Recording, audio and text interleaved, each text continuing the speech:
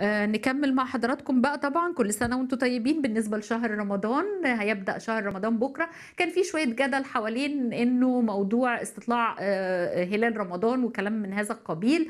آه، الحوثيين طبعا زي ما هم دايما معترضين على كل حاجة بدأوا الصوم الأربع مش الخميس وده برضو عمل جدل في اليمن شوية. آه، طبعا آه، يعني الرئيس بي- بيرسل برقية تهنئة لكل السفارات حول العالم والقنصليات. أرسل برضو كان آه، للقنصلية المصرية في لوس أنجلوس كانت نشرت آه، التهنئة تهنئة الرئيس السيسي لكل ودي نفس نفس الرسالة تقريبا اللي بيتم إرسالها لكل آه، لكل السفارات والقنصليات وبيقول لهم الرئيس السيسي أبناء مصر المسلمين بالخارج يسعدني أن أبعث إليكم بأصدق التهاني القلبية بمناسبة حلول شهر رمضان.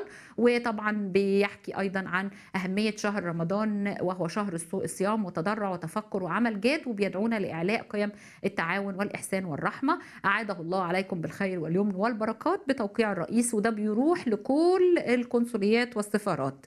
آه كمان آم، كان في جدل برضو لإبراهيم عيسى بس خلينا نأجل الكلام ده لوقت لاحق.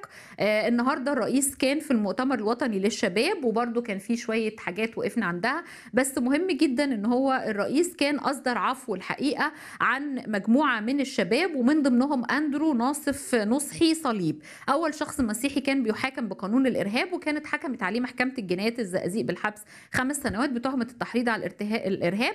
هو كان من ضمن اللي آه، آه، أصدر الرئيس العفو عنهم وخلصوا الإجراءات قال لهم خلصوا الإجراءات بسرعة علشان آه، باقي المفرج عنهم يقدروا آه، يتناولوا طعام السحور مع أهاليهم وده بالفعل اللي كانت عملته وزارة الداخلية.